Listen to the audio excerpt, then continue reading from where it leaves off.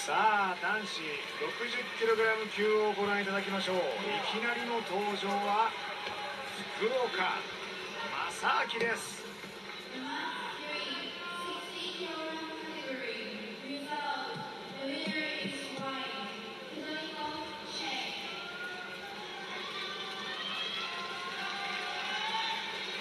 さあ福岡登場してまいりました。相手は1回戦からロシアのベスラン・ムドラノフです。かがですか？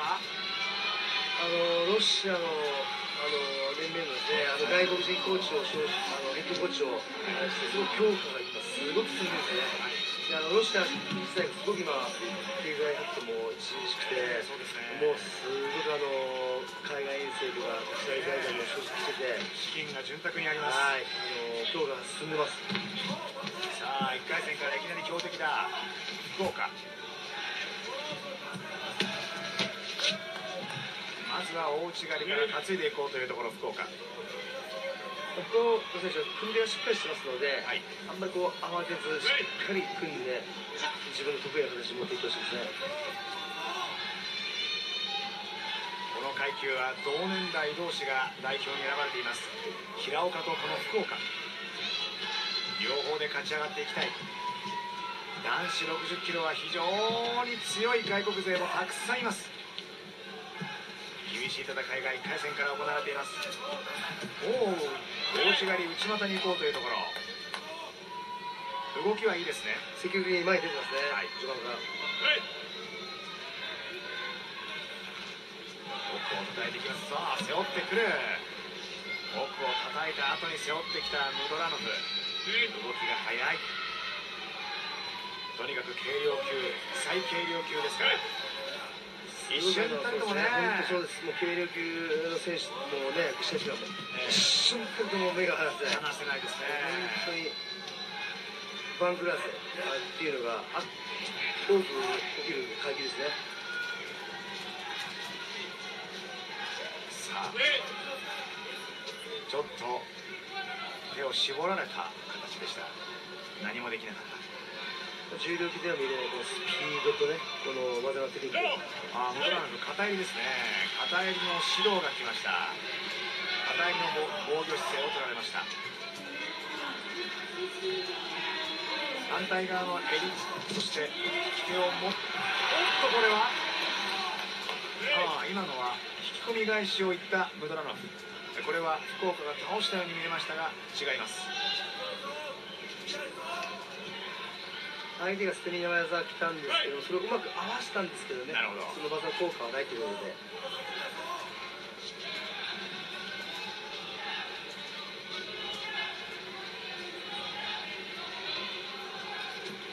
さあ非常に動きが速い。まだわからない。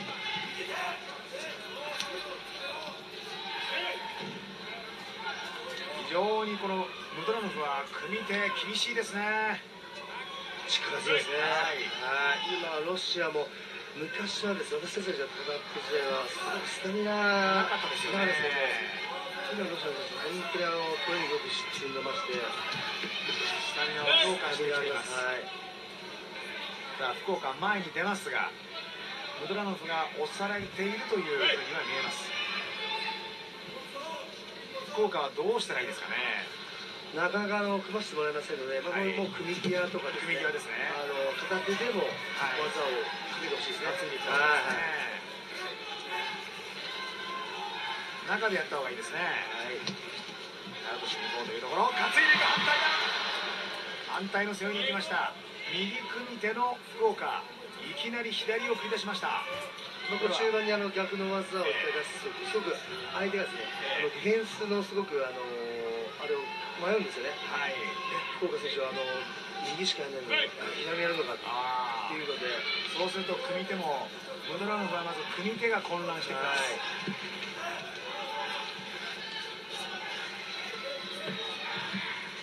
担ぎ技を見せましたので、今度は足技ですね。はい、あの相手が意識が前にありますので、福岡はいい大内刈り小内刈り持っています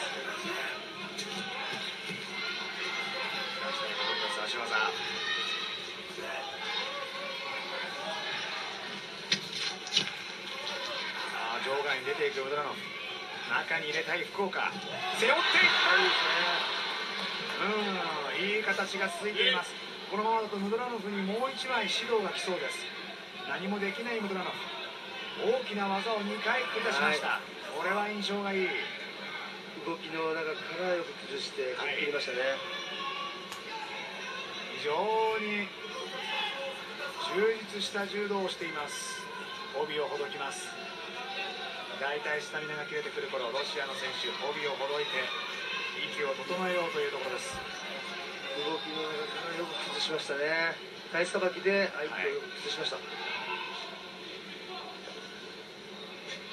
左右の担ぎを見せたんで今度後ろの技ですね。足技。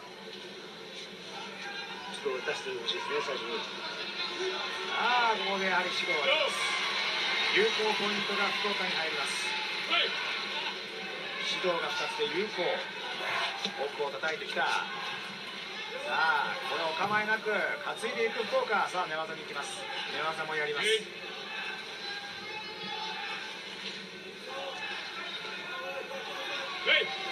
まあ、指導したストライクということでロシアの選手前に出てきますのでこれまたあの、ね、投げるチャンスが。逆にチャンスが生ま出てきますのでただしあそこを簡単に受けるとかこのような形になりますからね。簡単に受けてはいけません。出てくる力を利用しなければいけません。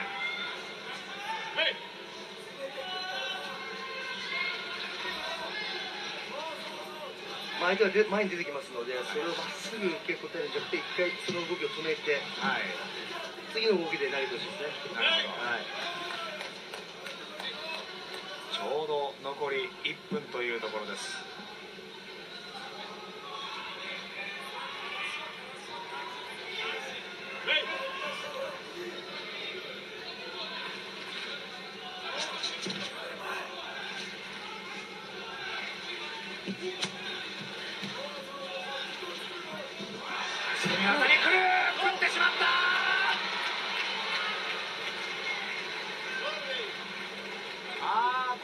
ちょっと一瞬の気の緩みはあったのか。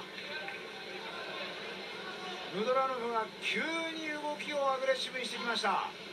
まあ指導一つ二つ作るとすごくその試合の展開が速くなるんですね。もう相手はもう後がないということではい。捨て身できますのでそこで気持ち的に引いてしまうとこういう逆転負けを喫してしまうと。最もいけない形ですいやー決して厳しいとはいえ負ける相手ではありません福岡。これは悔やまれます。今のは完全にちょっとやはり指導があってから有効ポイントになってから受け始めましたもんね。今までロシアが強豪国なんですけど世界の強豪国なんですけどメダルに絡んでないんですよね。今日この今日にかける思いがあると思うんですよ。プライドにかけてこのまま反則2つでは終わらないぞ終わらないぞという意思が、ね、出ました。